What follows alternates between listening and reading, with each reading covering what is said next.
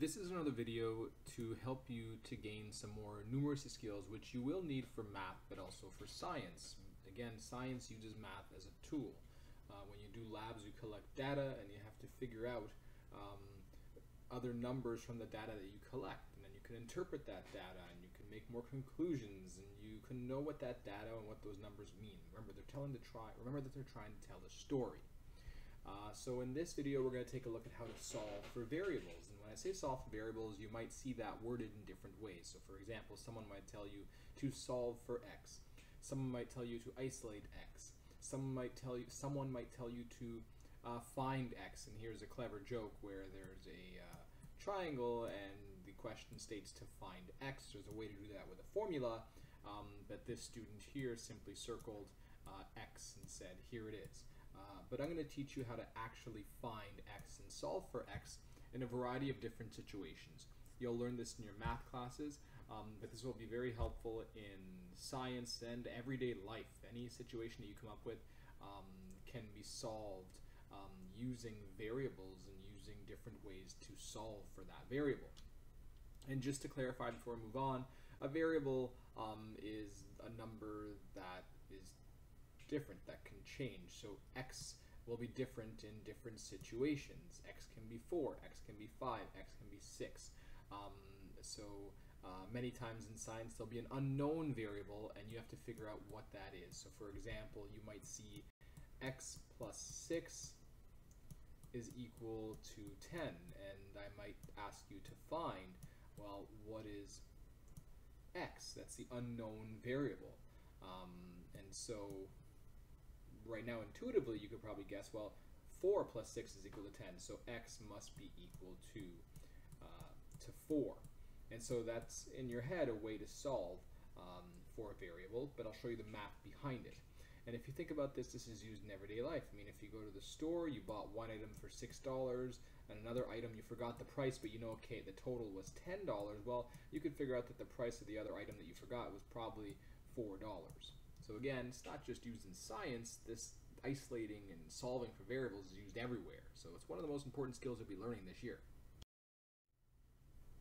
Here are your learning goals as per usual. You'll have to know how to solve for an unknown variable using a variety of strategies and operations. And when I say operations, I mean things like uh, add, subtract, divide, um, multiply. Uh, I also mean maybe square or square root. Those are a variety of different operations or things you can do to numbers.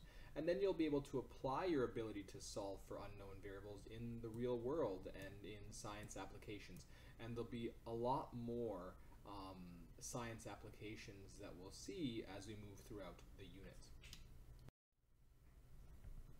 So um, here we have a famous problem. You'll sometimes see these on uh, Facebook and someone will post it and then people will comment and try to solve uh, the problem. Uh, so you're given a series of uh, pictures, numbers, and you have to basically solve um, for the final series of pictures over here.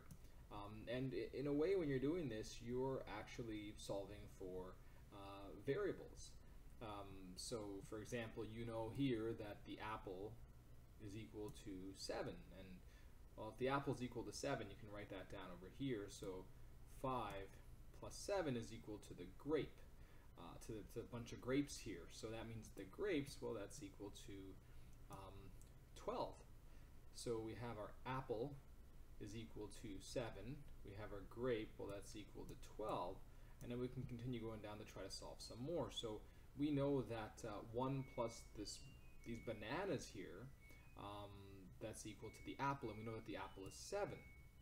So if you know the apple is 7, and 1 plus bananas is equal to, well, 7, then that means this here must be 6. So now you have all this information and you go and you can write down, well, the apple is 7, the grapes, that's 12, and the bananas we said were 6, but if you look carefully, here we had one, two, three bananas. So you know that 3 bananas is equal to 6. If 3 bananas is equal to 6, then 1 banana must be equal to 2. 1 banana is equal to 2. And you did that in your head. You said, well, 2 plus 2 plus 2, that's 6. Or maybe you did 6 divided by 3. And what you did is you did solving for variables here. Um, so now that we know that, we have 7 plus 12, that's 19, plus 2, that's 21. So our final answer here is 21.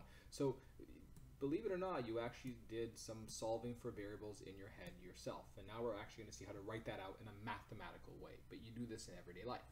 So next time you see a Facebook post like this, um, you'll be able to answer it, get the correct answer, and be one of the people that comments that actually gets it right. It doesn't matter if you get it wrong, you made a mistake, you just go back and learn from it, but um, you can think it through. And a lot of people usually, they can solve for variables, but they always forget this step here where they see the bananas and then they forget to divide. I hope I didn't miss anything. Maybe I wasn't paying attention. Sometimes they do that in the bunches of grapes as well. They remove a grape or something like that, um, and you're not sure if you have the right number still. So just pay attention to that. All right, so um, we have a variety of situations where you might need to find a variable. And so in this table here, we can see all the different situations in which you'll need to isolate for a variable. So when I say isolate for a variable, isolate, that basically means solve for a variable. Get a variable alone. You want something like this. You want x equals something. You want to figure out what that x is but oftentimes you'll have something else with your x. So for example, here we might have x minus b is equal to a, where b is some number and a is another number. And you really want to get x just alone. You don't want x minus b, um, you want x alone. And so I'm going to teach you strategies in order to uh, figure out how to get x alone and to figure out what x is. And basically to do that, you just do the opposite of what is happening to x. Um, so through the next slides, I'm going to walk you through strategies. All the strategies are going to be from this table here. You can fill it out using your Word um, document uh, that you've been provided with. Um, so we'll do kind of the general strategy and after we'll do a specific example for each one of these situations over here. But you basically do the opposite of what's being done to your x. So the gist of it is, um, if you have, let's say, x minus b, well, the opposite of x minus b is, well, to add a b. So you do x plus b, and then you can solve it from there. So I'll show you that in the next few slides. We're going to start off with this first situation here and make our way down to these situations over here. And then afterwards, once you're done watching this video and trying these out on your own, um, you can then try some of the practice problems from the numeracy booklet that you've been provided with.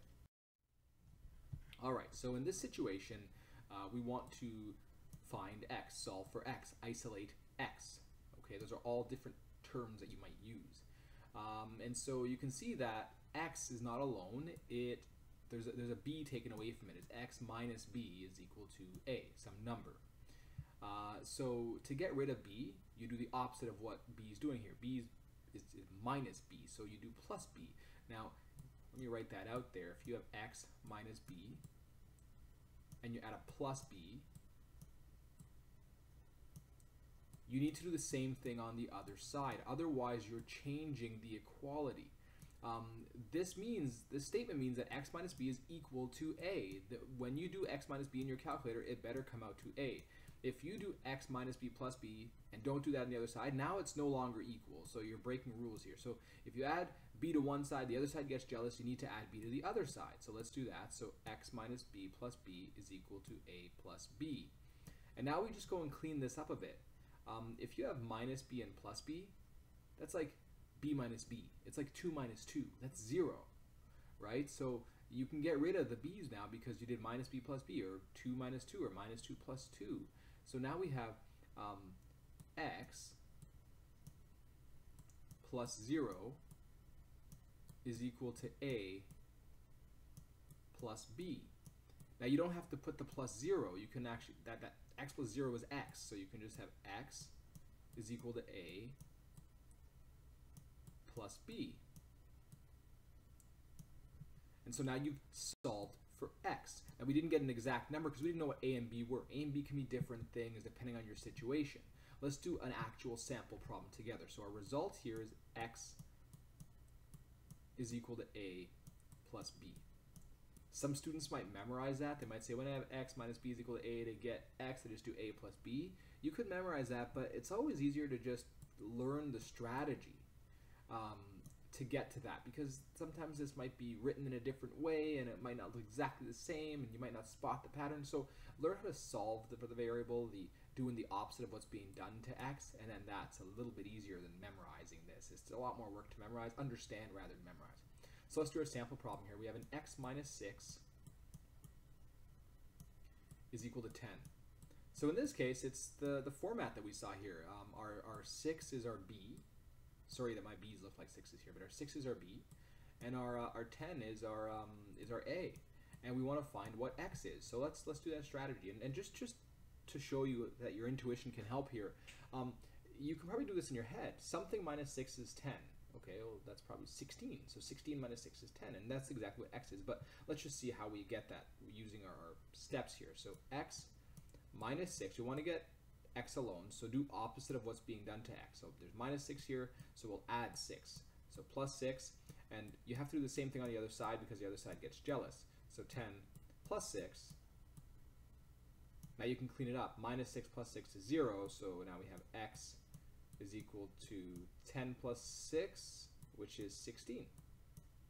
And now you've solved for x. You figured out what the unknown variable was. Um, a and b, we sometimes call them we call them constants. Basically, um, they're not in the question that you're dealing with. They're going to be uh, six and ten all the time. The only thing that you're not sure of is our x over here. So um, you should be able to solve simple uh, problems like this. Now we're going to go on and take a look at a different situation on the next slide. So in this case, it's very similar to the previous case, except this time we have x plus b is equal to a. So we have x plus b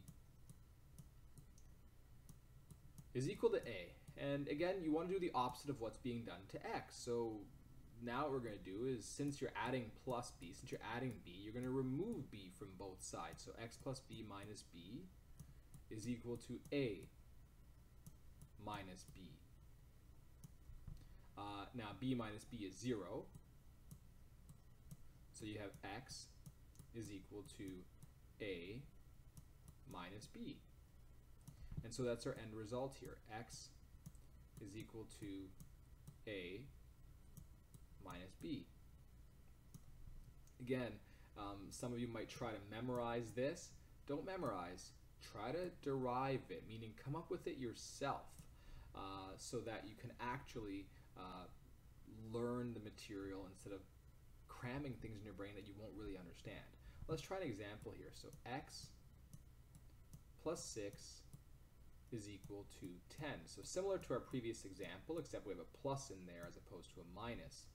Um, and again, you can do this in your head. Something plus 6 is equal to 10. That something is probably 4. But let's just carry out carry it out mathematically. Because I will ask you to show your work to solve for some variables.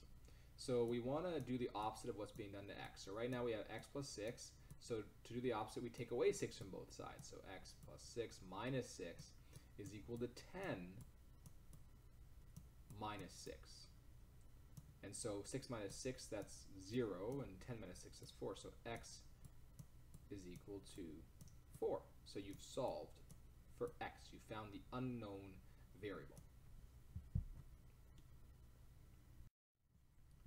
Now we're going to try a different situation. Um, here we have bx is equal to a. Don't worry about the little red line underneath. That's because I copied it from Word and forgot to take away that red line. So bx is equal to a. What this means is b times x. So there, there's the numbers are right next to each other. There's no operation in the middle. Usually when there's no operation in the middle, meaning when I say operation, there's no plus or minus or um, or anything like that or line. Uh, that means multiplication. So b multiplied by x is our unknown here is equal to a. So because b, because x is being multiplied by b, you want to do the opposite. If x is being multiplied by b, well, the opposite of a multiplication is a division. Okay, so what you want to do is you want to do bx divided by b. So when I put the line there, that means division um, divided by b. So like that is equal to a divided by b. Now, when you have some number or variable over the division line, and some number or variable below the division line, they cancel out if it's the same number or same variable or same item or same unit. And the reason you can think of it that way is if I do 2 divided by 2, that's equal to 1. And so that's not really going to change anything or affect anything um, in my equation anymore. So what I'm going to do is I'm going to cancel that out. I'm going to put b over b is equal to 1. I'm going to write 1x is equal to a over b. I can't do that for a and b because I don't know if a and b are the same right now. They're two different numbers. Now in math, you don't have to write 1 in front of the unknown variable. You can simply write it as x. You do have to write other numbers like 0.5 or 2, but if it's 1, you don't have to put it. It's implied. It means we know it's there if you don't write it. You wouldn't put it an x there if there was no x.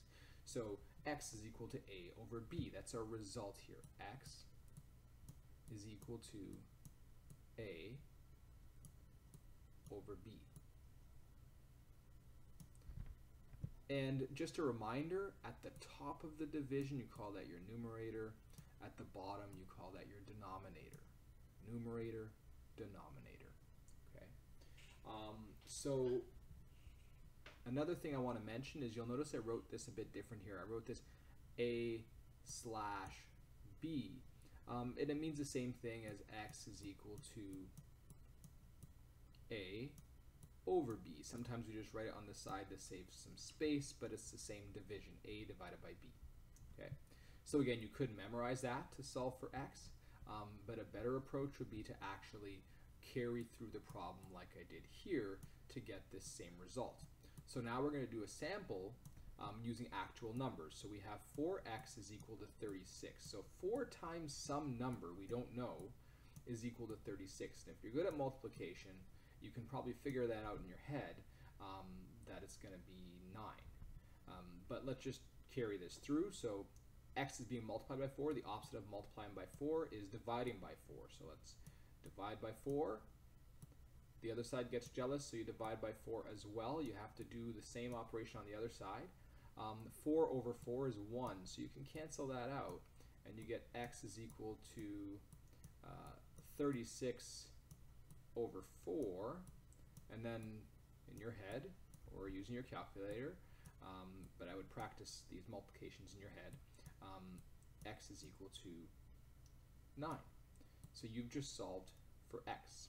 If you want to test to see that you're right, all you'd have to do is um, put the x back into the equation and see if you get 36. So for example, you put 4 times, now usually when you don't have the variable but you're putting an actual number in there, you put brackets like this, 4 times 9. This means 4x because we're saying that x is equal to 9 here, so we're putting that in there. Put that in your calculator, you'll see, yes, you actually get 36 again. So that actually satisfies it actually makes the equation work. When I say satisfies the equation, it makes the equation work. And you could have done that for the previous examples as well. Put that x back in there and see if you get the answer that you're supposed to get based on the equation that you have there. Now we're going to try um, the situation where your x is squared. And when we say the x is squared, it means it's multiplied by itself. So here we have x squared is equal to a. Another way of thinking about that is x, I'm going to put this in brackets because it's a bit confusing if I don't, x times x is equal to a. So when we have x times x, we square it. If I had x times x times x, we put a 3 instead because it's multiplied by itself three times. So when a number is multiplied by itself, you put a little number on top called an exponent to show how many times it's multiplied by itself. So this is an exponent. Kind of like when we saw for the uh, measurement um, videos. So in order to get rid of this squared here, you can use a function on your calculator called the square root. So to get x, what you do is you take the square root of both sides. So square root of x squared is equal to, you have to do square root on the other side, square root of a. And when you do the square root of something squared, well, that just gets rid of the squared part. So this is now going to be x is equal to square root of a. You have to keep the square root of a there because there was no exponent of 2 on top. Um, the square root of a will be different depending on what the number is. So our result is x is equal to square root of a. So if you see something that is x squared is equal to something, then you just take the square root on your calculator. It'll look kind of like this symbol here, um, and figure out what that uh, answer is in the end. Um, so if you need help finding that square root function, you can ask your peers, you can ask your teacher, you can look it up online or through your instruction instruction manual for the calculator. Uh, so we'll try the sample problem here together. Uh, x squared is equal to 64. So that means that something times itself is equal to 64. And you might already know that. You might know that 8 times 8 is equal to 64. Uh, and so that would be your answer here. But let's just try it out using the mathematical operation. So the opposite of squaring is square rooting. Uh, so we do the square root of x squared is equal to the square root of 64. So square root of x squared is x is equal to square root of 64. If you put that in your calculator or do it in your head, you get 8. So x is equal to 8. Again, you can verify to see if this is right by putting uh, your x back into your operation. So we had x squared is equal to 64. Let's see if that actually works out. Let's see if we put an 8 in the place of x, will we get 64? So if you 8, I'm going to put this in brackets to show that I'm putting the 8 where the x was. I'm going to put squared is equal to, you put that in your calculator and you'll see that you get 64, so that means you did solve for this accurately. So now we're kind of looking at the opposite situation where you have the square root of x is equal to a. So you're kind of doing the opposite here. Uh, the opposite of square rooting is squaring. So you have to square both sides. So if you have square root of x is equal to a, well, square the square root of x. So what I do is this, I put it in brackets, I put square root of x squared, square the a is equal to a squared. Now, technically you could leave it like this, but I like to clean it up a bit. The square root of x squared is just x because you're just taking away the square root and is equal to a squared. You can't change a to anything yet because you don't know what a is. It, it, could it depends on the number that you're looking at. Um, so here we have our result. a is equal to, or x is equal to a squared. So we'll do a sample problem together here. We have square root of x. Square root of x is equal to uh, 5. So to find x, we don't want square root of x, we want x itself, we have to square everything. So square root of x squared is equal to 5 squared. And so um, the square root of x squared is equal to x, which is equal to 5 squared. And then afterwards what you can do is you can um, put this in your calculator or do it in your head. Um, and if you put it in your calculator, you'll get 5 squared is equal to 25, or you can remember that 5 squared means 5 times 5. Um, so if you had 5 squared, that just means 5 multiplied by itself twice. So 5 times 5. Um, any other exponent would change how many times you're multiplying, multiplying it by itself. So if you have 5 cubed, that means it's 5 times 5 times 5. And there are situations where you can have that. You'll see that when we get to um, volume density calculations. Um, so just be aware that the exponent means how many times you're multi multiplying it by itself. If you need help to figure out how to do um, the squared function on your calculator, again, check with your peers, check with the internet, check with your instruction booklet, come and check with your teachers um, because calculators will vary.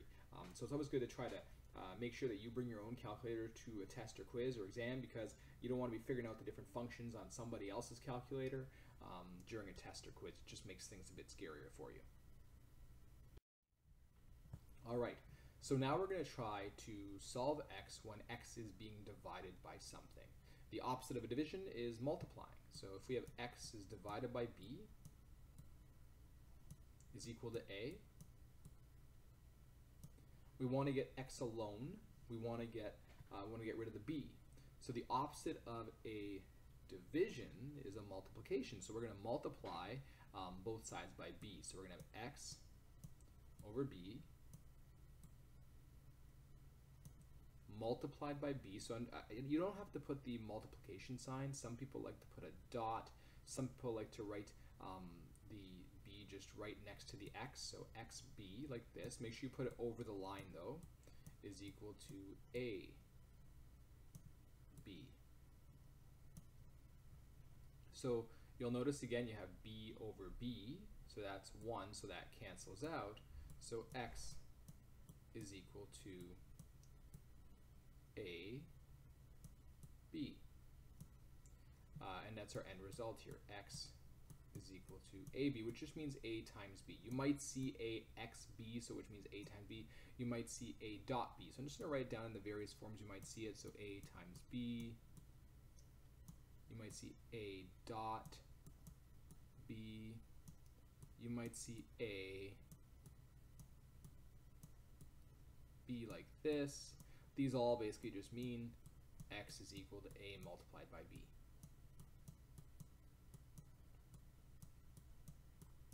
So we'll try a sample problem together. We have x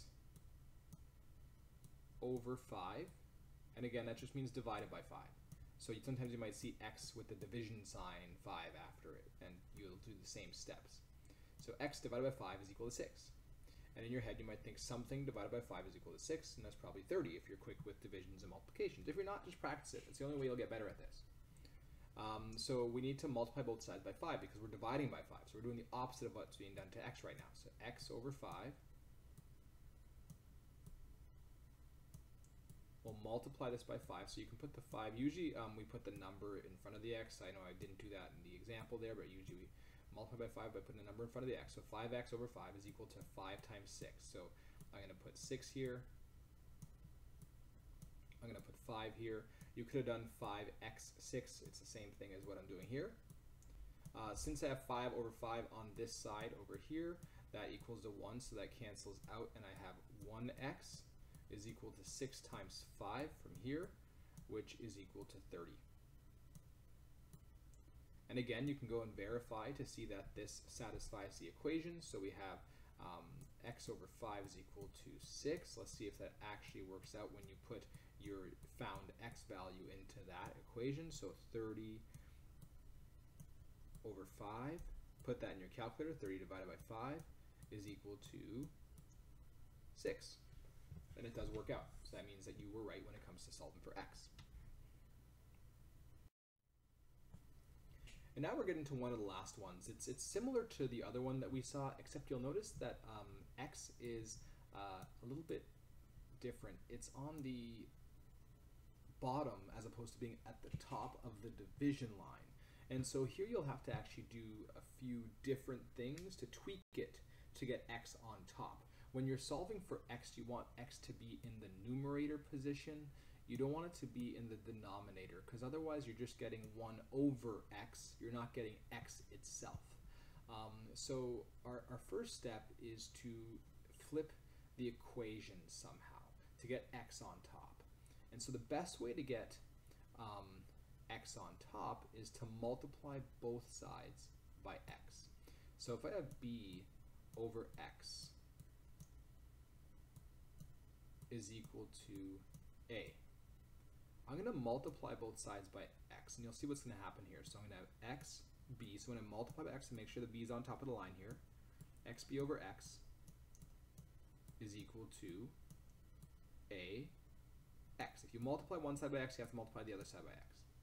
Now you'll notice that, okay, I'm getting rid of the x here because it's x over x, which is 1. That cancels out. So I have b is equal to ax. Okay, great. I got x on top by doing the opposite, by, by multiplying by x because x was dividing there. Um, and now I'm almost there, but I don't have x alone yet. I still need to get rid of that a, and some of you already probably guessed it. Well, since a is multiplying x, why don't I just divide by a? So divide by a And then since you divide by a on that side, you have to divide by a on this side.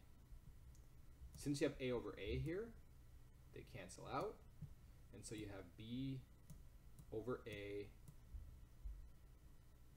is equal to x. And you can rewrite that as x is equal to b over a. It's the same thing. x is equal to b over a. A lot of students, for some reason, they get confused when they see it written this way, but it's the same um, procedure. Uh, you can just rewrite it. It's kind of like saying 2 plus 3 is equal to 5. You could write that as 5 is equal to 2 plus 3. It means the same thing. You just wrote it the other way around. So um, when you have a situation like this where x is at the bottom, you have to get x on top first by multiplying both sides by x, and then getting x alone means you divide both sides by a. So it's just a two-step problem instead of a one-step problem, but as long as you carry out both steps, you should be in a good position to get this general result over here. So we're going to try one sample problem together. We'll do the 49 over x is equal to 7, and want to solve for x. So basically what that means is 49 divided by some number that we don't know is equal to 7. Okay. And again, if you're quick with math, you'll probably figure out that x is equal to 7 just by doing it in your head. But let's do it the mathematical way, because you can't, there's some numbers that you won't be able to do in your head. So we want to get x on top.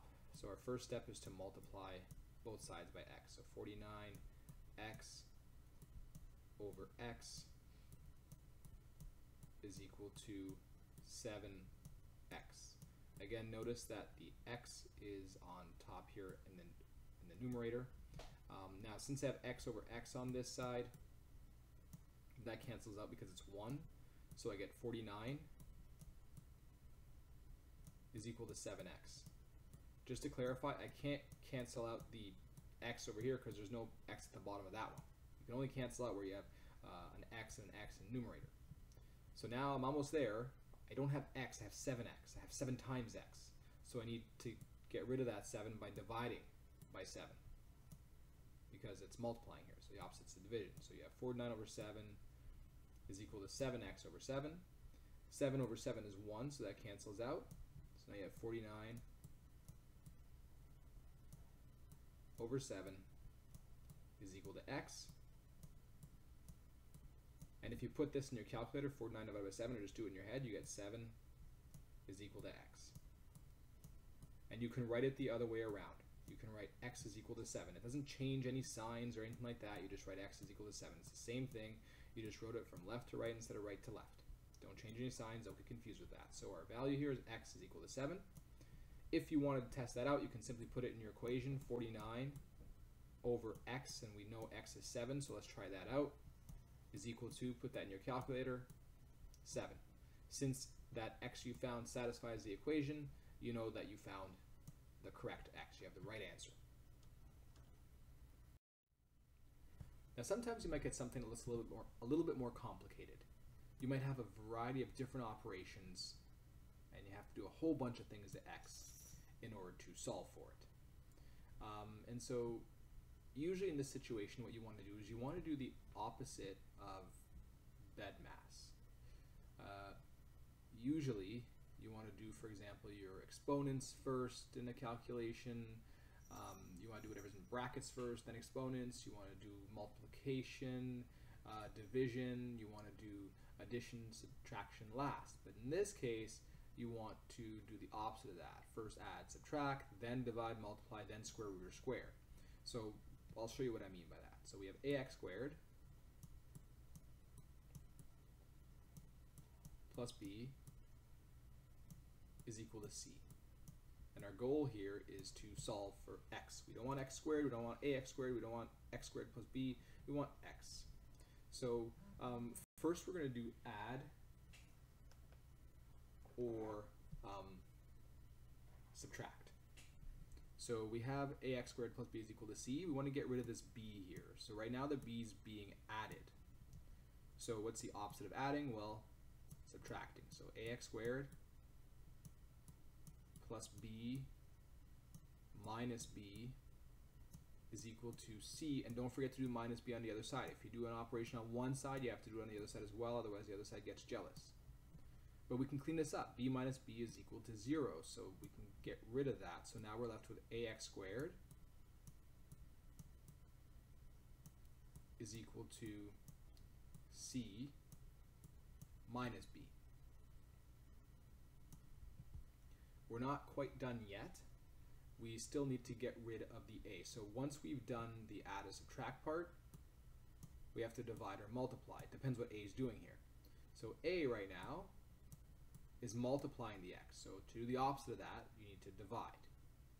So we have to divide by a on this side and divide by a on this side. Make sure you put the line under both letters here because you're dividing the entire thing by a. Now since you have a over a on the left side, you can cross that out because it's equal to 1. So you have x squared is equal to c minus b over a. Now, our last step is to um, do the opposite of what a square is. So we have to square root. So we're going to do square root of x squared is equal to square root of this entire thing here. So put square root around the entire c minus b over a.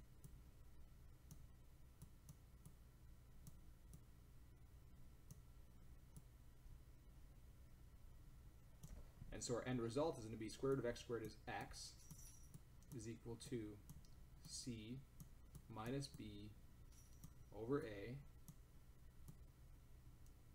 and then the square root of that. Now you won't see many like this in grade 9 science. You will have to solve for stuff like this in, in math for sure and you'll get better as you do more practice problems. Um, and in grade 10 science you'll see more of this stuff, more of these variable, uh, more of these complex variables um, that you have to solve for. Um, but you'll see it's not too difficult once you actually get some practice with it. So let's try let's try an actual practice problem out here. Uh, we have 2x squared plus 6 is equal to 38. So I'm going to start off by doing either the subtract or um, addition, depending on what the case is. So I have 2x squared plus 6 is equal to 38. You could probably do this in your head right now if you wanted to. Um, and figure out what x has to be to give you 38. Um, but I'm going to teach you how to do this mathematically.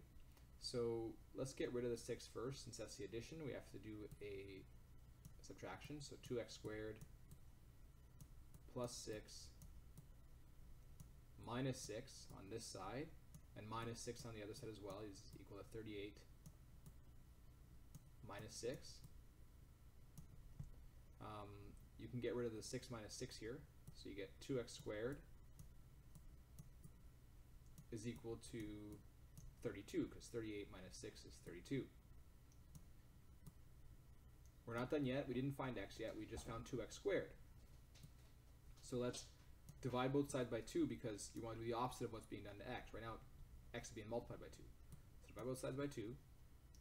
And what you can do is you can cancel out the 2 here because that's 2 over 2. Don't cancel out the 2 in the exponent. That's different than 2 divided by 2 here. This is by itself right now. Um, so you get x squared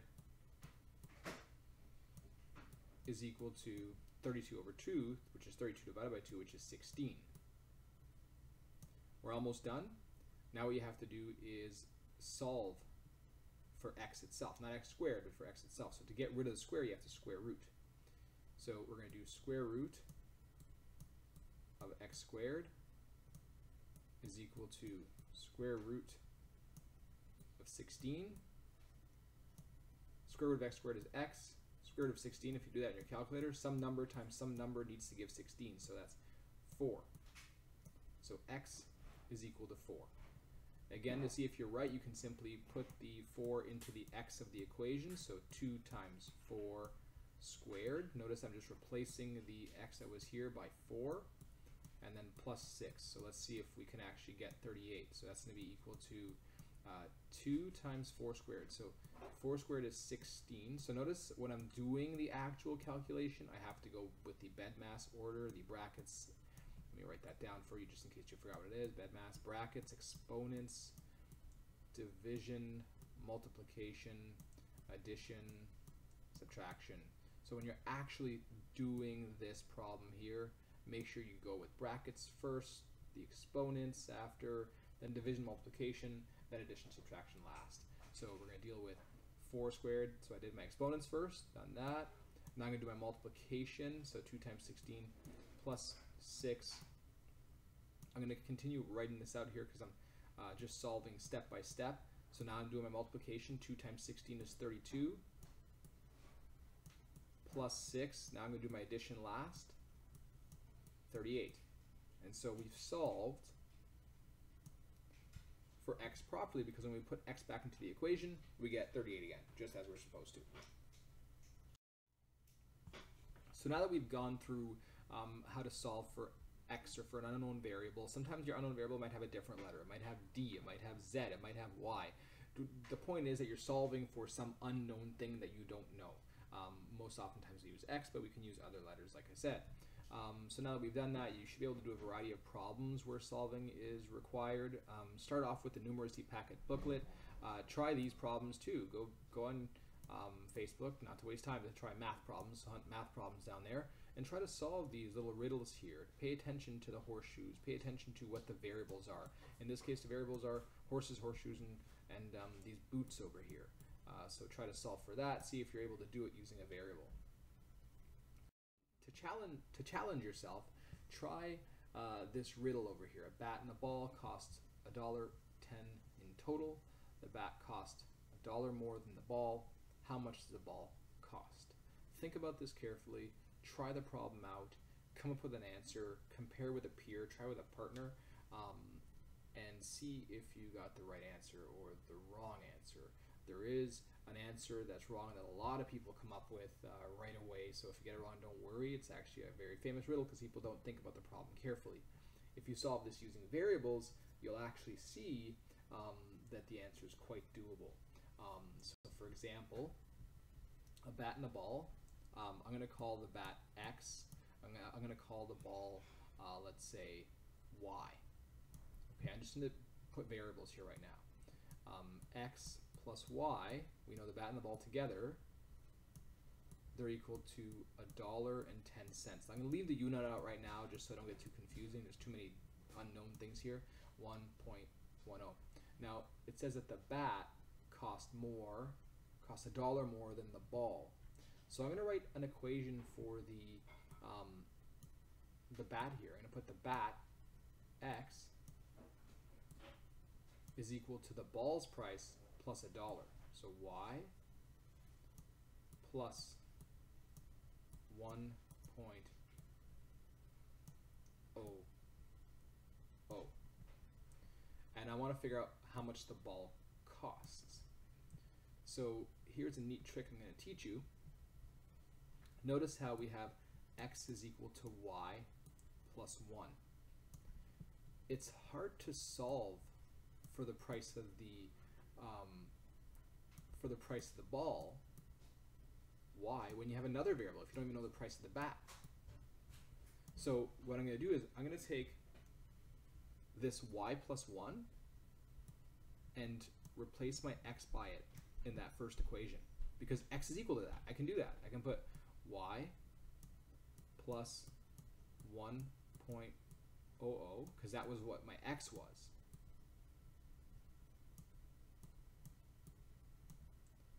Is equal to 1.10. Oh, I should I forgot to add my y that was there. So I replaced my x, but I can't get rid of my y yet because my y was still there. So all I'm doing is replacing my x by some other term that it's equal to. Plus y is equal to 1.00 or 1.10. Now I'm going to say, don't worry if you don't get this. It's just a, a a challenge, a little riddle to think about, um, and I'm just going to show you how you can use your math skills to solve it. So now I'm going to clean up this equation. You're learning in math that you can simplify terms, right? If you have y and y, two of the same variables, you can add them together. So 2y plus 1.00 is equal to 1.10.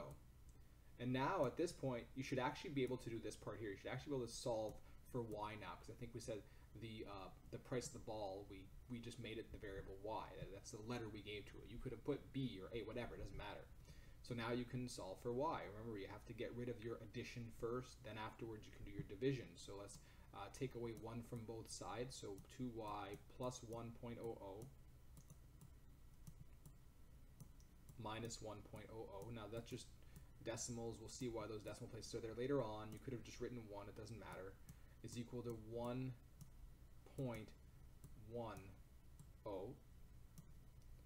minus 1.00.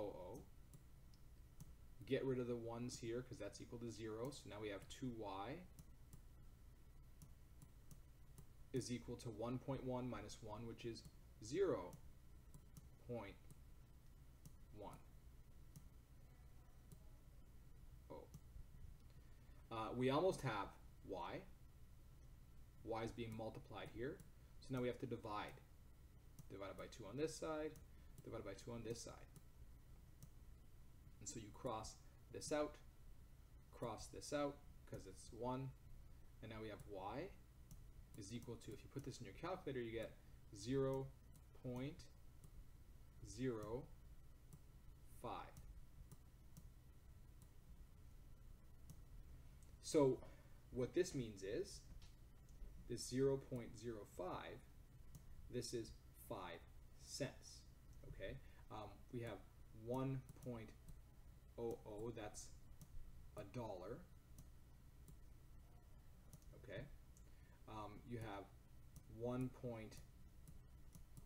1 oh that's a dollar and 10 cents so in the case of money when you have um, the whole number here that's the dollar and when you have the decimal part here that's the uh, the cents so anything in a decimal is a cent so here we have 5 cents okay um, if you just had 0 0.10 that's 10 cents if you had 0 0.5 that's 50 cents. So to actually get 5 cents or 9 cents, you have to have 0.05. We know now that the y, which is the ball, is 5 cents. Does this make sense? Bad joke. Um, well, let's see. We said that um, together, the bat and the ball have to be a dollar ten and that the bat is a dollar more than the ball. So that means that the ball must be a dollar and five cents. Oh, sorry, the, the bat must be a dollar and five cents, and the ball must be five cents, which is equal to a dollar and ten cents. Now again, this was just a challenging riddle. You don't have to get this right. You're not going to see something this complicated yet in uh, grade 9 science. Um, but I mean, it's always fun to try to come up with variable systems to solve this. If you want more challenges, just uh, um, you can research many more online. So now that we've completed this PowerPoint, you should go and try the complete the isolating variables practice problems from your numeracy packet. Um, and uh, try some more practice problems from your math homework, go online, practice together. The more practice you do, the better you're going to be at solving for equations when we get to this in science.